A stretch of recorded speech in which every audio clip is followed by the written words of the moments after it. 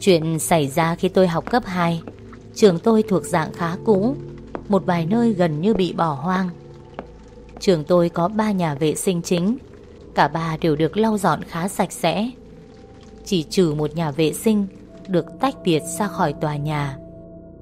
Sàn nhà ở đó luôn dơ bẩn Và có 6 buồng vệ sinh. Nhưng chỉ có 3 cái dùng được Vì cửa ba cái còn lại đã bị vỡ. Tôi ghét việc phải đến đó. Dù sao thì một ngày nọ, Khi tôi ngồi trong lớp tán gẫu với bạn bè, Tôi bỗng đau bụng dữ dội Và cần đi vệ sinh gấp. Không may là nhà vệ sinh bẩn thỉu đó Là cái gần tôi nhất. Hơn nữa tôi không muốn thử vận may Khi phải nhịn để chạy đến cái xa hơn.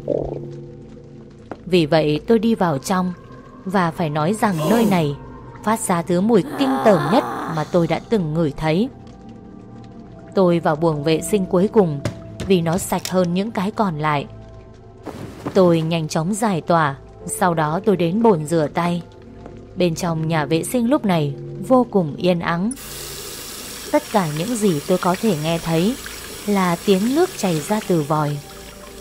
Đột nhiên, Tôi nghe tiếng gõ phát ra từ đâu đó. Liếc lên gương, Nhưng không thể nhìn thấy gì, Vì mặt gương rất bẩn vì vậy tôi nhìn xuống, Tiếp tục rửa tay Và bắt đầu lau khô. Cho đến khi tôi lại nghe thấy tiếng gõ cửa một lần nữa, Tôi lấy ít khăn giấy và từ từ lau gương. Khoảnh khắc đó tôi thấy rõ, Tôi đang cười với chính mình.